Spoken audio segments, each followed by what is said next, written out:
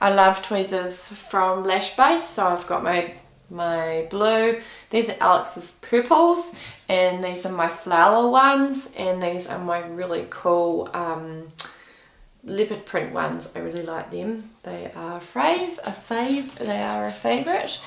Um, next thing I've got is a myriad of, um, I don't even know if that's the right word, but I've got heaps of glues. This was my Ultra Bond Pro 5 when I first started. That's Ultra Bond Pro 5 with Nouveau. Um, does not dry very fast. A little bit, not so much. Um, great. And then I moved on to, I uh, there was like a lash coat one. I have hardly used it. Um, but I do like the Kiss number one. Dries reasonably fast stays on really well. No one has a reaction, which is really cool. This is the latest one I've just tried and I was really not too sure about trying. It's called Blink Lash Stylist and Care. This one gives you warnings and cautions not to swallow, not to breathe in the vapor, not to get it directly on the skin. So really have to be careful with that one. But it dries so fast. It is really amazing. Um, I had heard of glues people had worn before and they're like, if my lashes feel like concrete, or they're like, I went and had a shower and it stung every time I had a shower, or I cried and it stung, no good. This is another Kiss one, um, it's been sitting in my fridge, it's clear. It's interesting to use, I haven't used, I've used it had it done on me once and I've just felt like it didn't dry as clear as I'd like it to but um, I would like to use it again with some colours and just see exactly how that works out. So they're pretty cool. Um, the next thing that I use um, for removal of protein is either protein pads or this is Lashme's um, uh, brand of lash primer. So that gets used with microfiber brushes. I don't have any microfiber brushes on me but I do have those. Um, and then I have Nouveau for my glue removal my or my removal of lashes. Um, I also keep um, Solution Buds by Hill Cook for cleanup, a little bit of cleanup. Um, this I love, Nouveau Lashes Sealant. I use that in every single person, so I'm always using um, my mascara brushes. I've got those as well. I'll show you how they come. Um, I stopped using pads a while ago. These are the pads that I use. They're just um, lint-free eye patches. You can get them from China really cheap anyway. These ones here are silk eye pads. They're a little bit like a sticker but they look like silk and I'll bring a picture up of that so you can see that too. Um, and then I have my air blower for afterwards. And then I also have my magnifying um, glasses. Cannot do lashes as good as I do without these. These are a must. Um, and then I have my silicone pad which I put all my loose lashes in again another must don't use a sponge. I got given a sponge in my starting kit from Nouveau and they just bounce all around the sponge as you try and pick up these little lashes. So you know um, I don't bother with a jade stone. I use rings and the rings look like this. They look like that. Wear it on my finger. Wear my cap. I love the rings and cap. I've known lash techs that have never never had them or used them before and love them after using them. I have my normal microfiber tape as well. That's pretty standard. Um, a couple of extra things that are fun are my Kiss Diamond Lash Swarovski Stone Lashes. So I have those and I've done those on some brides. I should put a picture up so you can see. And then I've got them in colour as well. So we've got a few in colour that's pretty. And then we have uh, glitter ones. I have not used these. I got them thinking they'd be really fun and cool and I think I did a few on somebody and then was like they're just they just don't look quite right. I don't know if you can actually focus on them or what but not so much. Um, if I was to retail sealant I would retail either the DV Perfect Coating which is this one. Sealant to people to put on their own, but my lashes last like they last, so that's fine. Or the Max 2, that sealant's good too. Um, and they're both on Lash Base. Um, if I was to retail a mascara, it would be the DV Glowing Mascara. Brilliant, does not ruin your lashes, it's water-based. Um, and then the other thing I have in my kit is um, the lash sizes we have that in, in our rooms anyway to show people when you know what the sizes are what they look like in case they want to choose and, and how we can help them out. Just go and grab um, a couple of other things that I have. I think I'm down to the last things. I do have a file as well. Notice the animal print. That's to file off my um, and clean my tweezers as I work Okay, here's the microfiber brushes. Now I've had some cheaper versions of microfiber brushes before and they've been really bad. These ones here, I think they're Blink as well, so it's the same range. Has these guys, Blink. So um, these are good, they don't fall off and come apart and deteriorate really, really badly, which is annoying. Um, these are the mascara brushes that I get from Lash Base as well um, and I give that after I've done sealant to my um, to my client because then they can take care of their own lashes. Here's two different oil-free options. Max 2 Nouveau Lashes um, Mascara Gold and then DV Glowing. It's quite popular. It's cheap enough that you can I can sell this for like $25 New Zealand dollars for, for this oil-free mascara.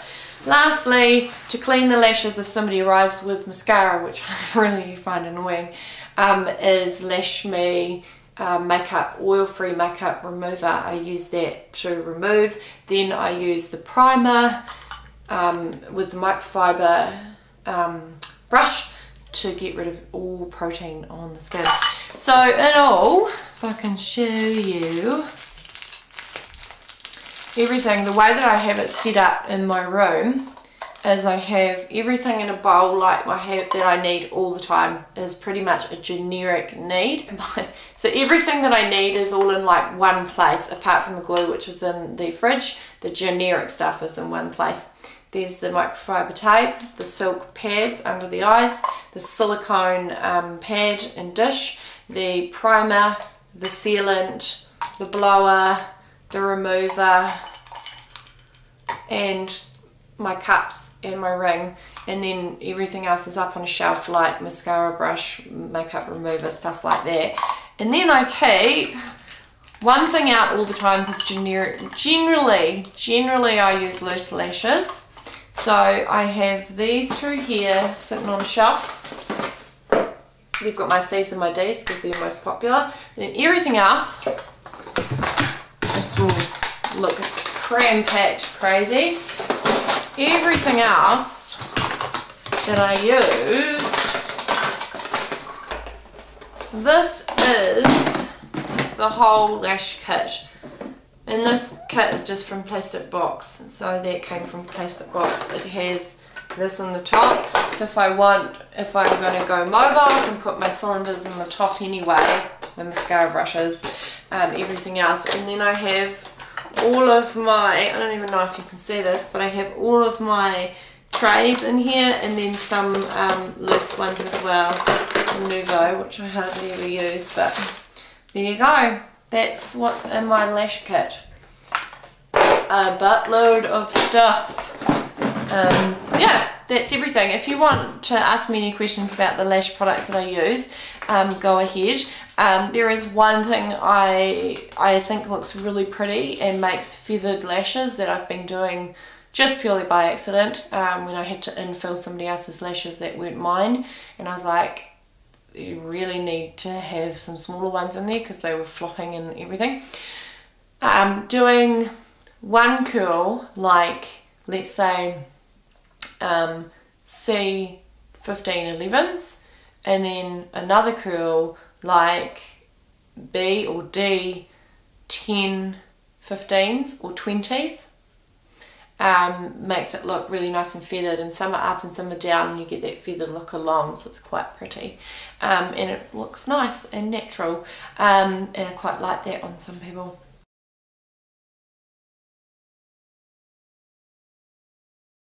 Um, for starters I've got my L lashes. I'm going to start with L's because I use them like a couple of times on people and I like them when they were first all in but as soon as they started falling out I don't think they look so good so they don't really wear well when they're not full but I do have them in point 20s and I got 9 um, when I ordered them I got 9, 11 and 13 so they're the our lashes so hopefully you can see if it focuses on that instead of me that you've got that in trays. I quite like the trays because um, you know you can grab them off.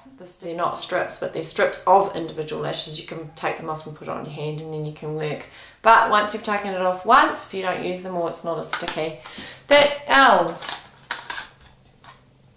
Alright, I've got um, B and this is a mixed tray of 0.15s and I've got 8, 10, 12 and 14.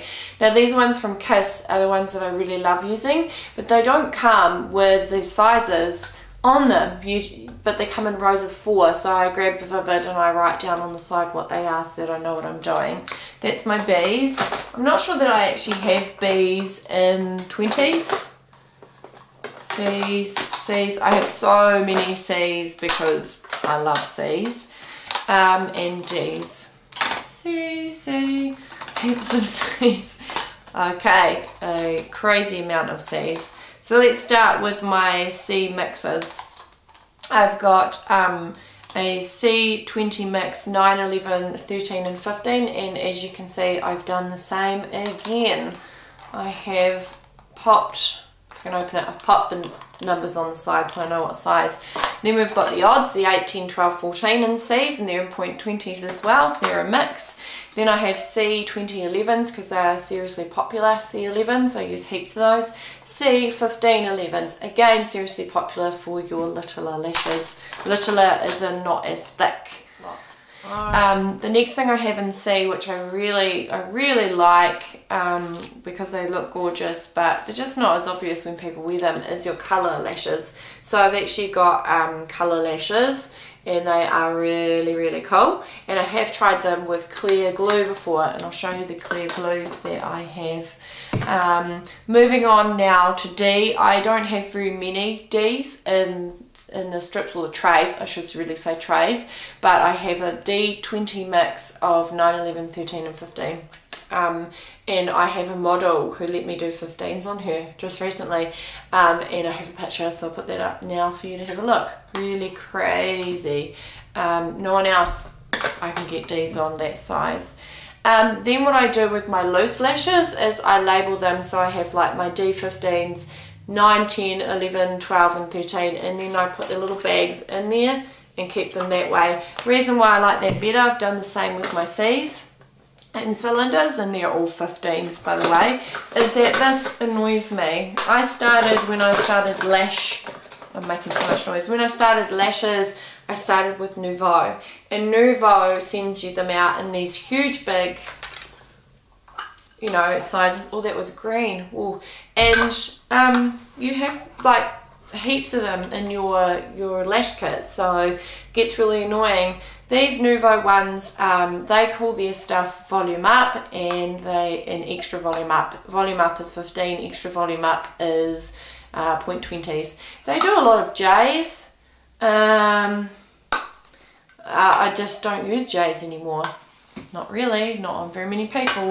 It's going to be B's or C's and then D's. People love D's.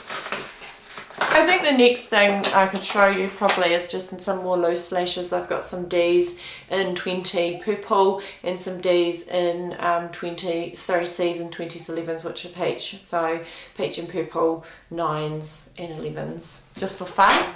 I think that's everything. Ta-da! Okay. If you have any questions, comment below. If you want to share your tips and tricks and things that you do for lashes, I'd love to hear them. I'm always open to learning. Um, and I'm sure that there's some techs out there that maybe watch us that have been doing it for a lot longer than me. So um, yeah, if you're going to um, buy lash products, Lash Base. Um, great products on their site, love it. Okay, bye.